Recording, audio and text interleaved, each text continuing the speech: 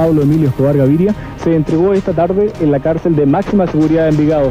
Estamos en la catedral en donde estuvo preso el narcotraficante Pablo Escobar en Colombia. Uno de los hombres más buscados del mundo se entregaba a la justicia colombiana.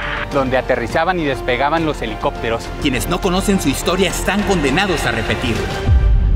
La catedral es la cárcel construida en 1991 por un acuerdo entre el gobierno de Colombia y Pablo Escobar en Envigado, Antioquia, donde fue encerrado a cambio de no ser extraditado. Así luce 30 años después. Bueno, estamos en la catedral, lo que quedó de aquella extinta penitenciaría en donde estuvo preso el narcotraficante Pablo Escobar en Colombia. Vamos a tratar de recorrer lo que queda de ella. La historia de este lugar es muy llamativa porque en aquella época fue un acuerdo que hubo entre el capo y el gobierno para que él no pudiera ser extraditado hacia los Estados Unidos y quedarse en territorio de Medellín, en territorio colombiano. Luego de un año de su ingreso, en julio de 1992, Escobar escapó cuando se enteró que las autoridades querían trasladarlo a otra prisión, donde no tuviera el control del personal.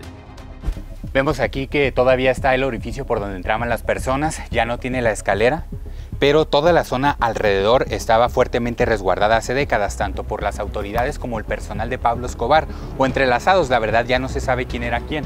Pero así como esta caseta, hay varias alrededor de todo el predio. Toda la zona está llena de senderos como este, rodeados de naturaleza, que más bien parece una especie de laberinto, pero anteriormente se dice pues era para tener múltiples salidas ante cualquier escenario. Lo que se manejó como una cárcel después se supo era más bien una especie de mansión, con todas las comodidades, desde donde siguió operando el cartel de Medellín.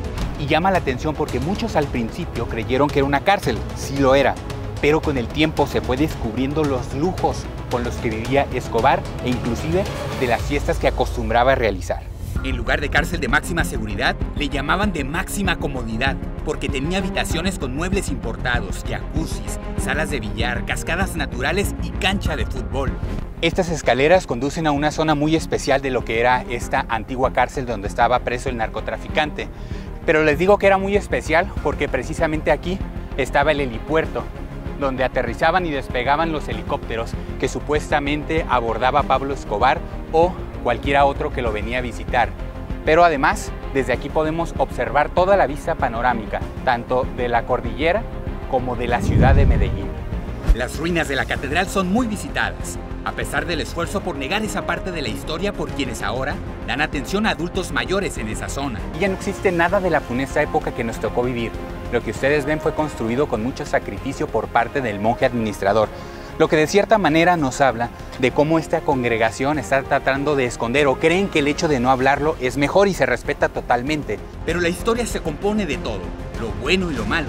Otros piensan que quienes no conocen su historia están condenados a repetir. Esto que ahora vemos en ruinas, en pedazos, pudiera ejemplificar perfectamente lo que fue la historia de Pablo Escobar que algunos pudieran idolatrar pero con un negocio ilícito que pudo haber llegado a tener millones, era una persona que tenía que estar presa.